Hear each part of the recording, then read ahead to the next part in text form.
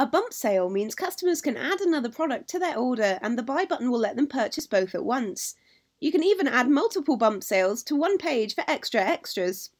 So here's how to create one, but first make sure you've created your bump sale product in the product section of the dashboard.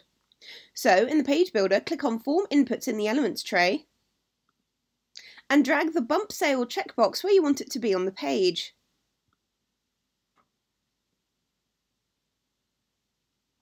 A dialog will appear which will remind you that this page needs a main product for it to work.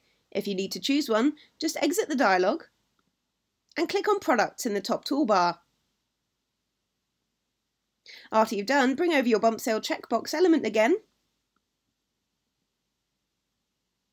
Choose your bump sale product from the dialog and click Create.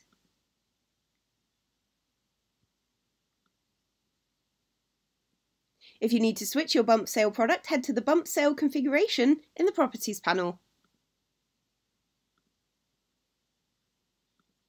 And don't forget to add a text element for a label to let people know about your extra.